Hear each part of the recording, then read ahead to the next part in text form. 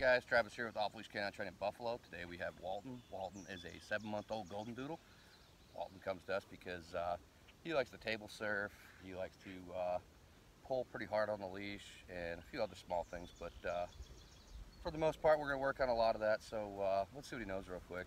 Walt, Walton, come, come, come, come. Yeah, go. Okay.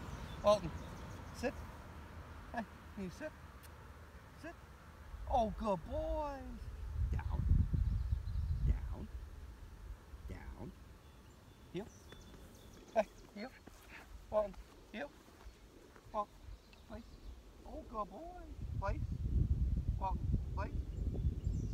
Good boy.